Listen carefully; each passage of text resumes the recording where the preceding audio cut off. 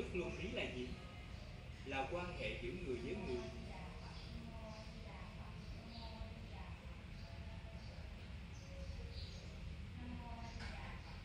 Đây là bài học đầu tiên. Quý vị làm thế nào để hòa hợp với tất cả mọi người?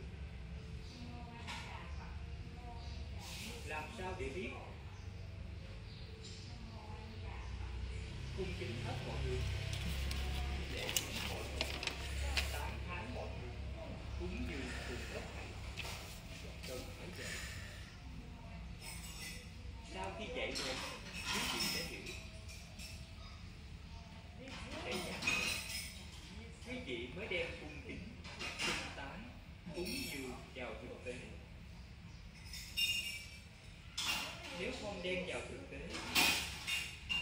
cho dù nhận được chỉ dạy vẫn không thật sự hiểu.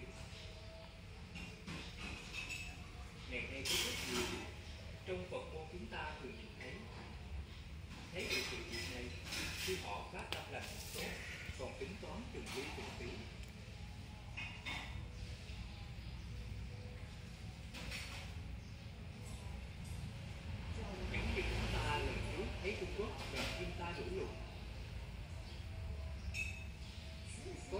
người muốn phát thật nhưng vừa nghe tiền cứu trợ e rằng không đến được người dân bị nạn tiền trong đó bị ăn lớn họ lập tức không cứu giúp nữa quan điểm như vậy là sai rồi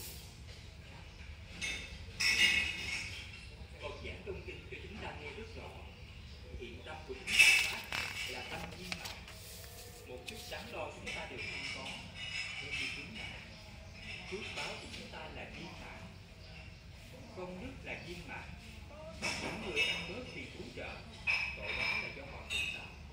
Đương nhiên cũng có rất nhiều người nói, tôi không muốn tạo cơ hội như vậy để anh ta tạo nghiệp tâm này của quý vị không sai, nhưng dân bị nạn sẽ không được cứu gì họ chết gì đó, sẽ chết gì lợi quý vị tại sao không nghĩ tới điều này? Người thế gian mãi mãi vĩnh viễn là luân hồi lục đạo phân biệt